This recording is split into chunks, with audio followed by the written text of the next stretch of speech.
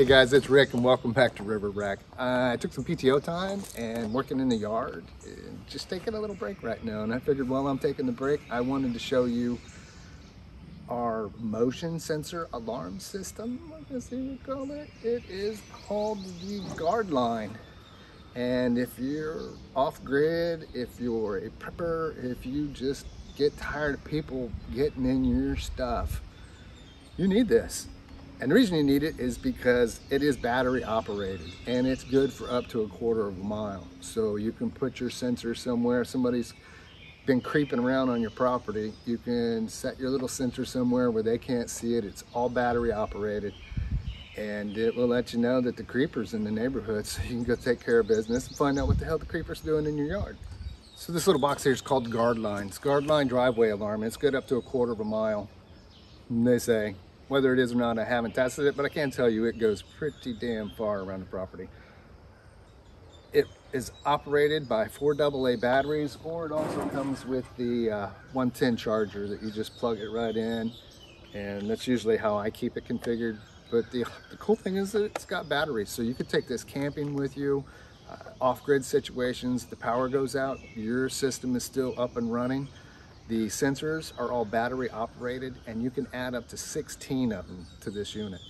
The unit is divided into zones. You got uh, one through four and each zone can have four sensors programmed into it. Each sensor will have its own notification sound.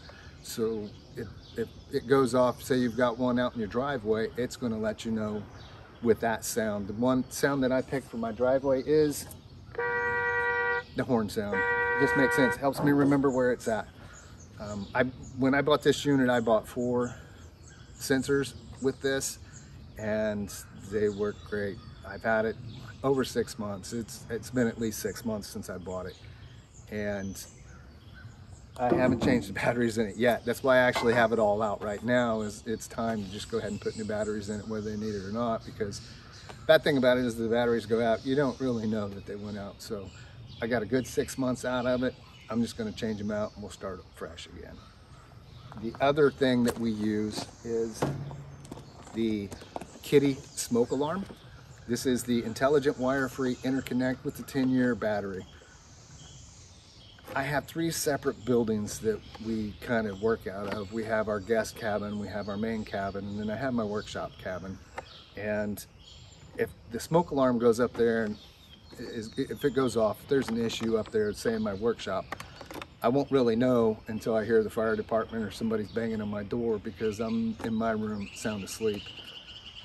This is connected to the smoke detector in my bedroom. It's also connected to the smoke detector in our guest cabin. So if one goes off, all of them go off.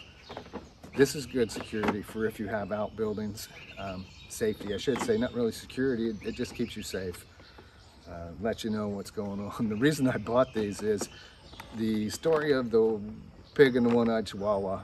Dottie is our resident neighbor's dog that pretty much lives here most of the time. And a while back, she brought down a little pig friend that she had. And he was cute as all get out when he was little, but he became a bit of a prick as he got older.